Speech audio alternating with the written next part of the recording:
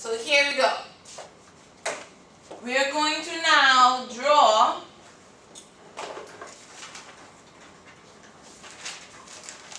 So tell me how many sigma bonds and how many pi bonds do we have in this molecule? Three sigmas, one pi. Three sigmas and one pi. Sigma from your carbon hydrogen, sigma from this other carbon hydrogen. Inside of your double bond, there's one sigma, one pi. So in total, we have three sigmas, one pi. All right? Hmm? Got. You got it? Okay.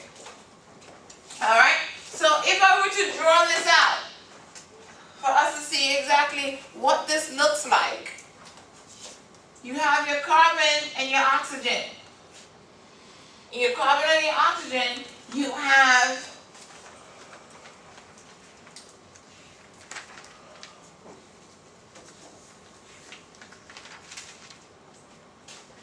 your sigma bond.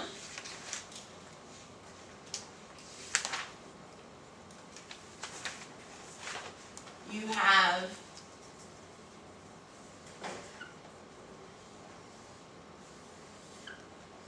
your pi bond.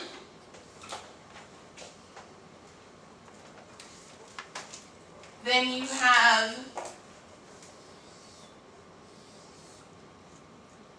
your sigma bonds with your two hydrogens. And you have your two lone pairs on oxygen. No, you don't need to know how to draw this. Okay? So this is what this looks like. In reality, this is how your electrons are situated. When we draw something like this, this is actually what your electron density and electron clouds look like. Alright? So if we look at acetylene, how many single sigma and how many pi bonds do we have in acetylene? Four sigma, Uh-huh. one, three sigma, two pi. Three sigma two pi. Three sigmas, two pi. You have your sigma for your CHs, that's two. Inside of your triple bond, there's one sigma and Two pi. So if we were to now draw this in terms of seeing where your electron clouds are, this is what we end up having. We have our sigma bonds. Here we have our pi bonds coming together. Your pi bonds, one is going to be in up top, one is going to be vertical, one is going to be horizontal. And putting everything together, this is what we come up with. Alright? Here's a question for us. Predict the bond angles around each carbon in acetonitrile. This is acetonitrile. So this is carbon 1, this is carbon 2. What is the bond angles around carbon 1? How many things are bonded around this carbon? Four. Four. Four, yeah. One, two, three, four. So what is the bond angles for, what family does that put this carbon in? Tetrahedral. Tetrahedral, what's the angles for tetrahedral? nine point five. One oh nine. Hundred and nine point five. This carbon, carbon two, how many things are bonded around carbon two? Two. Two. What family does that put us in? Uh, linear. Linear. What's my bond angle? eighty. One eighty. That's what I got you. Next question. Des- describe the hybridization at each carbon. Carbon one, what's the hybridization here? SP three. sp3. Carbon two, SP. sp. That's what I got too.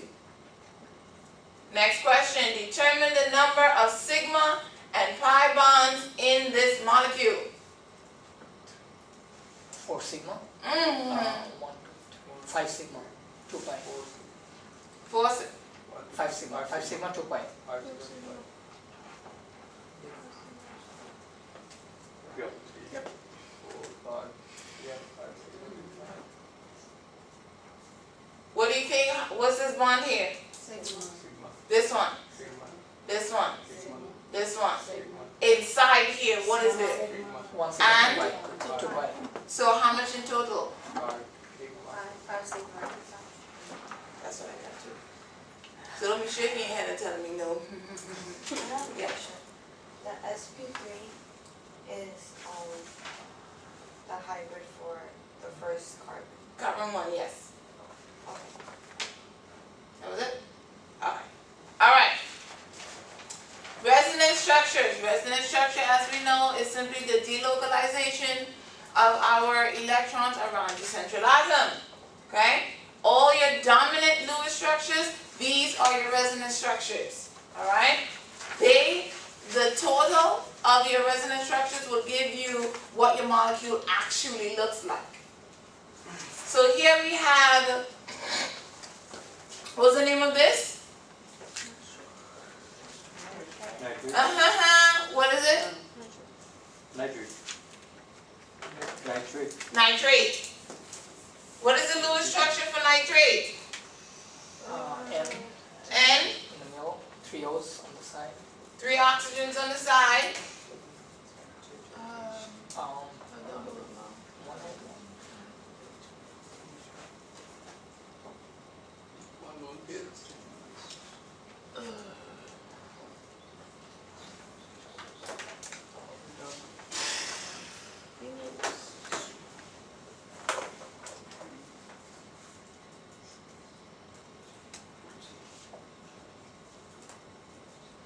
Don't you? Six, we should put six on. One, two, four, six. Six. Six. One, two, three. Two double. One. Yeah, one of them has an atom. One is gonna have double bond? Mm-hmm.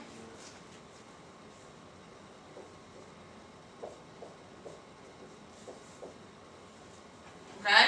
Six. Is, can we draw any resonance structures here? Yes. Two, What's it look like? two more is the Two more? double bond moves. Double bond moves? On the left one is down.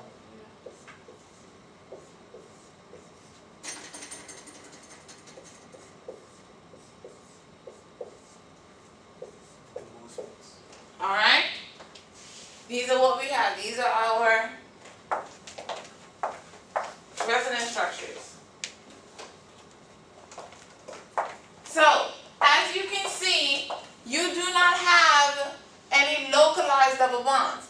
If we were to trans- translate these into our, seeing our electronic, electron um, orbitals, we would see something like this. If your double bond was localized in between just one of your nitrogen and oxygen bonds, this is what it would look like, and the other two bonds are free.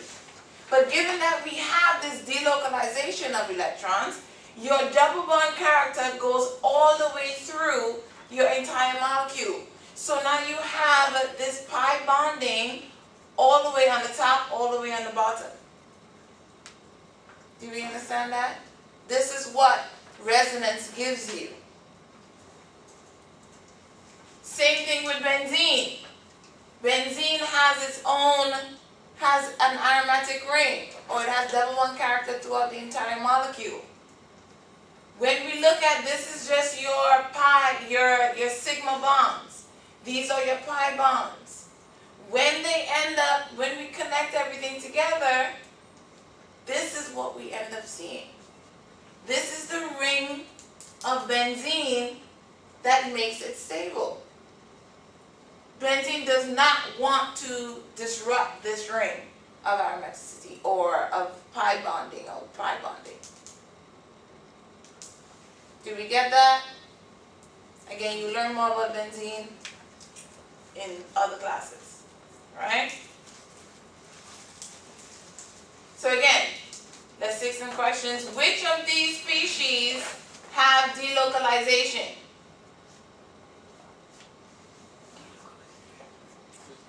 Does that mean a So meaning, which one of them has resonance? What's the name of this? SO3 has resonance. Huh? It has resonance. Is the um, sulfate? Nope. Sulfate. Nope. sulfur trioxide. Thank you. Sulfur trioxide. There's no charge here. Alright? Sulfur trioxide. The only way to figure out if you have delocalization is what? Figure out This structure. double bond or. Draw the Lewis structure. So does sulfur trioxide have resonance? Yes. Yes. Yes, it does. We have three possible Lewis structures. Now, the compound that we did earlier, this compound here, this is formaldehyde. So does formaldehyde have resonance? No. Because it's a part of, yeah, It does? it does, it's, it's double bond, You have a double, what, what allows you to have resonance? double bond. Double bond? Triple bond, That's it? triple bond, Nope. that's it. So just, just having a double bond, just having one double bond allows you to have resonance. No. The central uh, It's central atom is connected with that, you know, like, um, it depends on, um, in, in here, uh, carbon can bond double bond with hydrogen or, uh, any hydrogen, so it should be the same, like, it doesn't have resonance. It does not have resonance because you have one double bond, but this double bond cannot move because you cannot have a double bond with carbon and hydrogen. In order to have resonance, in order to have delocalization, your double bond must be able to move. So again, the requirements for resonance, you must have one or more double bonds around the central atom, or you might not one of not around the central atom. You might you need more than one double bond, or you need a double bond and an additional atom with lone pairs. All right. So what about lone ozone? to be at the top? It has resonance. Say it again. Does the lone pair have to be with the central atom? No. Not on the central atom, no. Okay. Ozone. Two resonance. There you go. What about this? What's this? Uh, no resonance. What is the name of Uh, it? is the ammonia, Ammonia. Does it have resonance? cause no double bonds. No, you have no double bonds in here. Alright? So again, we're switching gears again. We're almost finished with this chapter. Molecular orbital theory. When we do the boxes, what is that for? To know the electron, where the electron, Of what? different places Of what? of an element. Of an element or an atom. and Alright? And then that's called your atomic orbital theory. Right? Now your molecular orbital theory. What do we think that that that involves? The things like The moles? molecular. the Give me a sentence.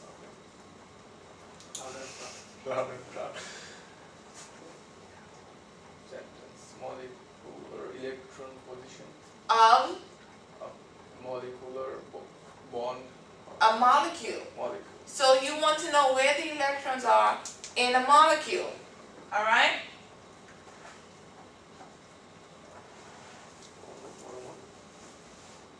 So again, electrons in your molecules are described by your molecular orbitals. Remember, your atomic orbitals, we have the boxes.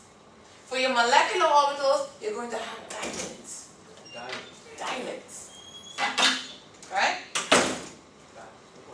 Now, we have wave interference. My physics people, what are my two types of wave interference that we have? Uh, Transverse uh, and. Transverse. Manipulate transverse. Uh-huh. You have two waves. Yeah. They can interact in two different ways. What are they? Are you like sine waves? One. Sine waves, cosine waves, either one. There are two ways that they can interact. You can either have, or you can have. the bottom. One is superposition and other one. That's not su- It's not called Yeah, superposition. it does. No, it does not. Electric is like He just Not ten superposition. yeah. That part, superposition is physics better.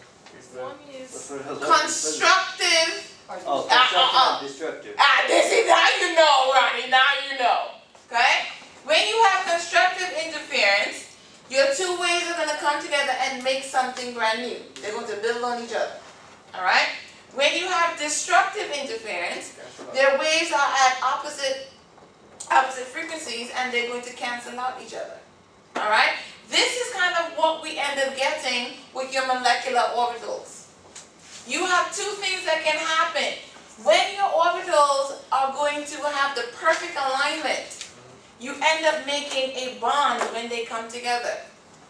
If they are out of sync with each other, they end up going to repel each other and you're going to make something like this and this is called an anti-bonding.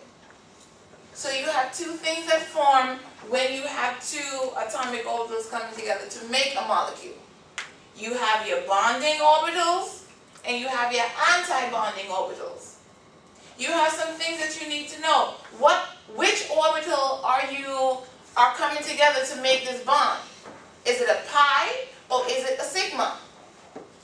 Right? So if your two s orbitals coming together, what bond are you gonna, what type of bond are you gonna make? Sigma. You're gonna make a sigma. So you have your sigma 1s bonding, which will always be lower in energy than your anti-bonding. And you end up with your sigma star. This is how we signify that it's an anti-bonding, anti-bonding by adding this star. So you have sigma star 1s.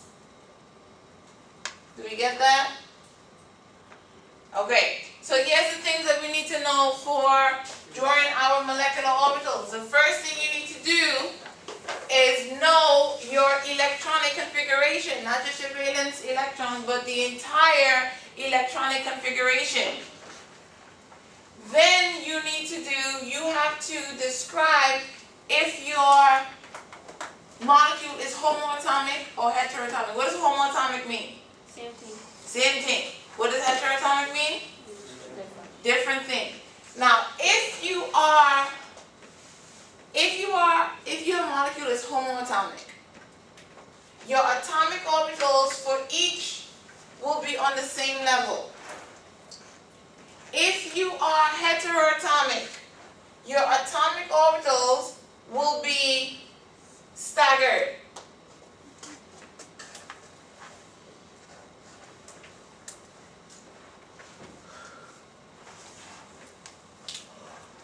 Do we get that? And the one that is lower in energy would be the most electronegative.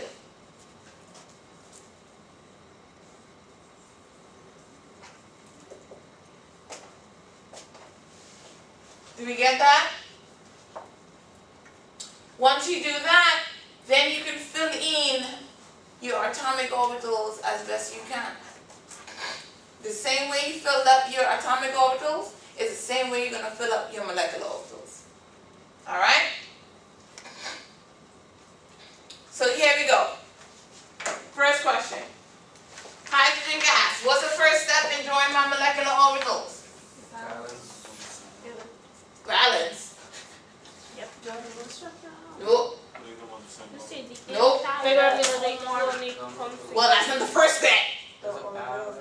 No balance. Find the number of valence electrons. Valence electron, but I want you to write the entire electronic configuration. So how many hydrogens do you have here? Two. Two. So you have hydrogen one and hydrogen two. Mhm. What is the electronic configuration for each hydrogen? One is one. One S one. For both of them, right? Yes. One is one. One is one. Ooh. Thank you. Minus ten. Alright? So now this is how we're going to draw our molecular orbitals. So you have a space for each of your atomic orbitals.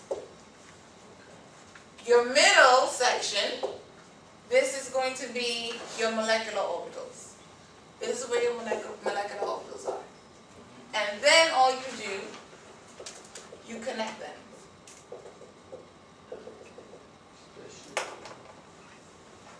Right? Wait, rewind what you said? The outsides, you have a line outsides. That is going to be where your atomic orbitals are going to sit. Inside here, this is your molecular orbitals. So you always start off with that. You always start off with this. Alright. Okay? This is the basis for all of our molecular orbitals. Then you're going to start labeling. Alright? So the bottom molecular orbital This is your, the type of bond that's formed. When you have two S's come together, what's formed? What type of bond is formed? Sigma, Sigma. Which orbital is this sigma coming from? one. One S. 1s. So you have sigma 1s. This is your bonding. This is your anti-bonding. How do we signify our anti-bonding?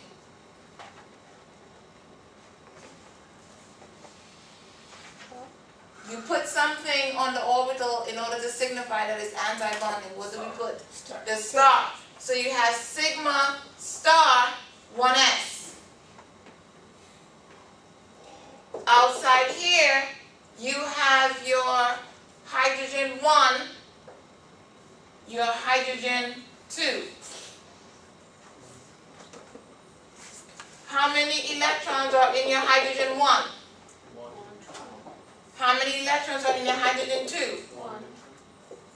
So these are just placeholders. This is what we're purchasing. Remember, think about how we filled up my atomic orbitals or how we read off my electronic configuration. Where do we start? The bottom. Okay? So think about your teacher's shoe shopping fetish. Alright? Where do we start? Payless. Right? Your sigma 1s. That's your Payless. How many electrons can fit into your into each of your molecular orbitals? Two. So now you have two electrons here. You now purchase your sigma 1s. Do you have any more electrons to play with? No, and therefore this is your molecular orbital. So whatever the empty one. It's empty, you don't have any money to get up there. Oh, also, if you have more than, than If you have more electrons, then you can you can you can shop at Vim. then cancel out later. No cancel out, we don't cancel out anything. So what the empty gonna do doing then? The empty is just gonna sit there. Right? That's what I got too. That Hmm? Alright? Let's do now how do we know if a molecule exists? You can draw a molecular orbital diagram, but you don't know for a fact if the molecule actually exists in nature or not. In order to figure that out, we need to find how many bonds will form in between the two atoms. That is called our bond order. We have a formula for your bond order. Your bond order must be greater than zero. How do we find it? It is half the difference of your bonding minus your anti-bonding. So you have your bonding electrons minus your anti-bonding electrons divided by 2. So can we find my bond order for my hydrogen gas? Yeah, I guess. How many electrons in your bonding? two, two. How many electrons in your anti-bonding? Zero. Divided by 2. My bond order is, One. so therefore, hydrogen gas does exist. If it's less than one, it doesn't exist. No, if it's, it must be greater than 0. So if it's a half, it will still exist. So if it's negative, it exists. No, there will not be no negatives. Never. Here. So everything is gonna exist? No, not necessarily. You said there's no negative. There's no negatives. Oh, it's just gonna be zero. Right. Alright? So here, we just calculated our bond order, we know it's 1. So let's try another one. Draw the orbital diagram for helium. And then find the bond order. So again, same setup.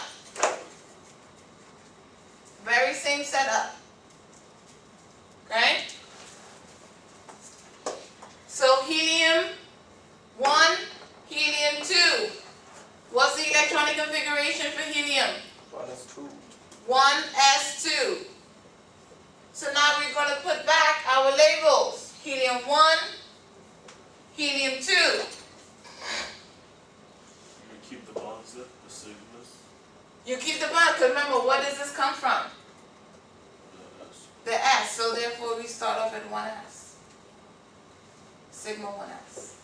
Alright? How how many electrons goes for helium one? Two, Two. How many electrons goes for helium two? two electrons. Okay? So how many electrons do you have to play with in total? Four electrons. Four. Good. How many can you purchase for your sigma 1s? Can you purchase your, your sigma star 1s? Yeah. How much? Two. Two. Do we have any more to play with? No. No, very good. Okay? That's what I got too. Now let's calculate the bond order. How do we get the bond order? So how many bonding electrons do you have? Two. Bonding. Oh, bonding is two. Two. How many anti-bonding? Two. Two. Divided by two, zero. So therefore, what can you tell me about helium two? It does not exist. Yes. what? So when it exists, what is? When what exists? does Helium two? When does it, no, no, like when does? it? If it's great, if your bond order is greater than zero, it exists. Alright. No. Go ahead on that. The equation, what is the Bonding electrons bonding electron? minus anti-bonding electrons divided by two. So it's a. Bonding electrons, Okay. anti-bonding electrons. Both of them are two? Oh, Yes, I found both of them. Okay, right. okay? Now, let's do this one. Lithium two. Lithium two, Professor, how is the anti-bonding is two over there? how many here? Two. How many here? Two. How many here? Two. How many here? Two. These are where you come from. These are what you purchased. Okay.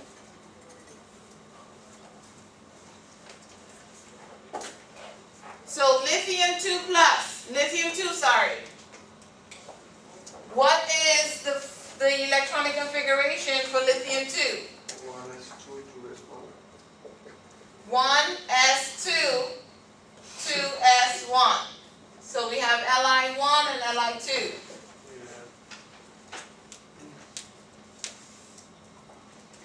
So now, each one of your orbitals will have its own diamond. So you have to make one for your 2s now. So your 2s is higher in energy than your 1s. So where is it going to be, on the top or the bottom? Top. Top. So you make another one.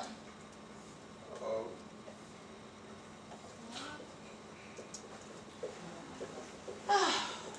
So we can make them right. Oh, so when there's a 2s, uh, a two S two, you make two? Mhm. Okay. So you're going to label them the same way, except now this is a sigma 2s.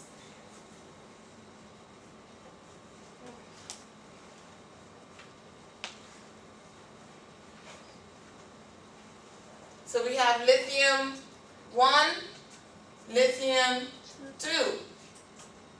How many electron goes here for lithium 1?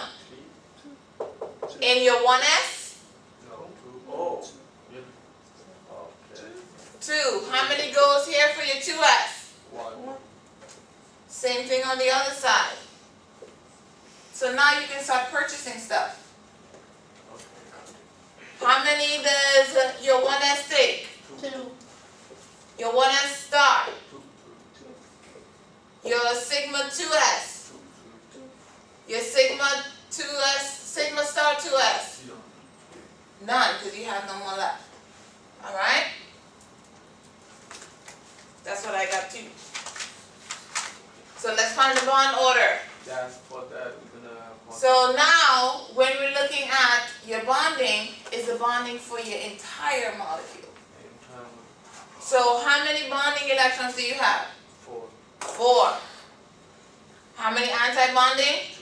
Two, Two. Divided by two?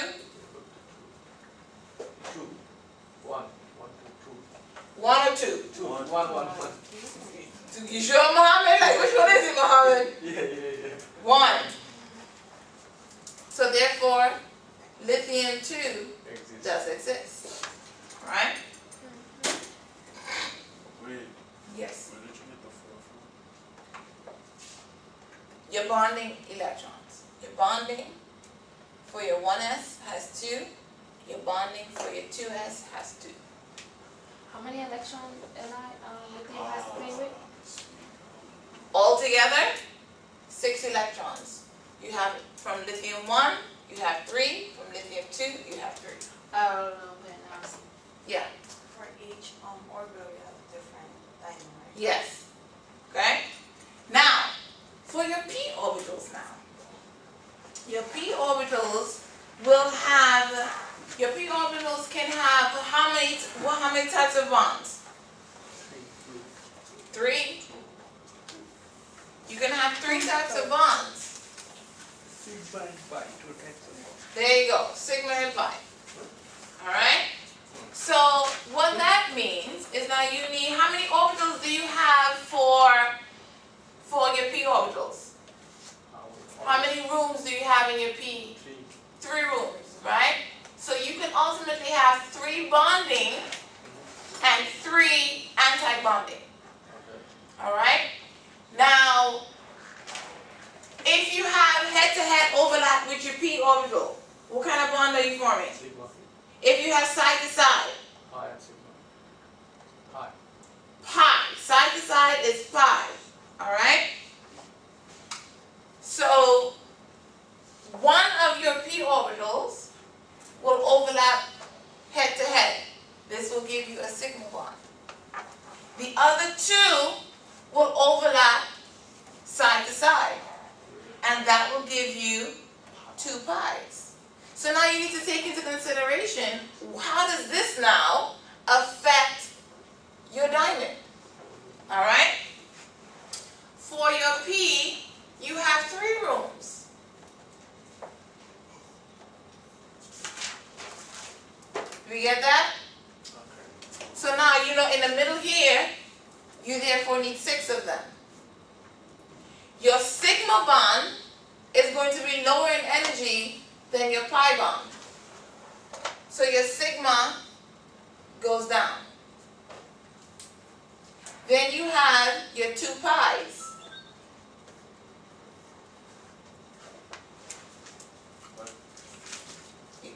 How do you have three in this one? Because you have three. In the P? In the P, you have three rooms, no? You need to take into consideration these three rooms.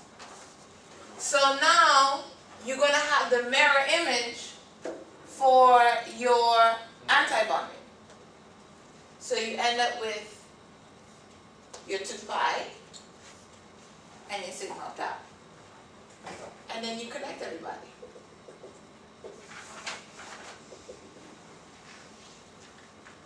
So now we're gonna label them. What would this la- label be? Sigma. Sigma?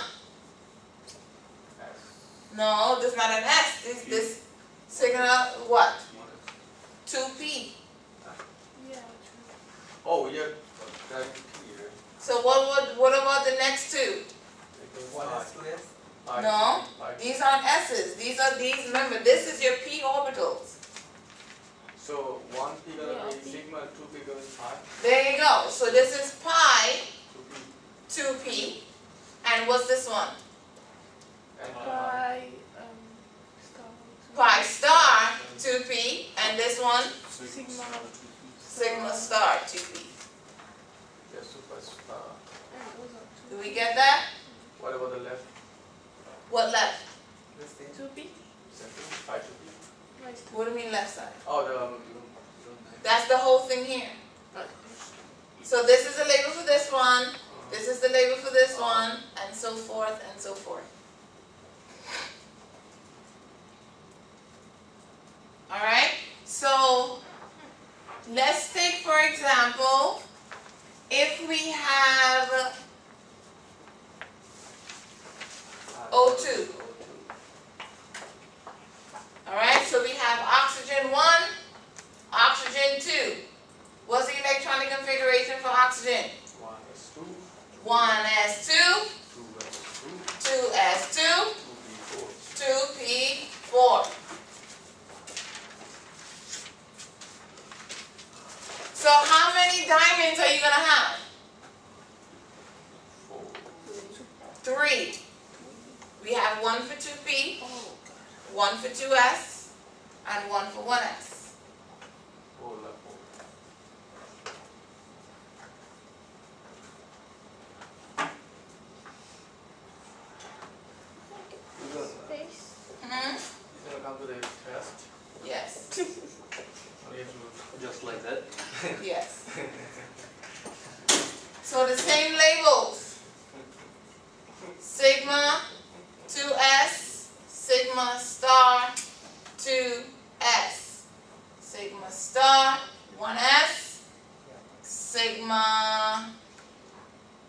One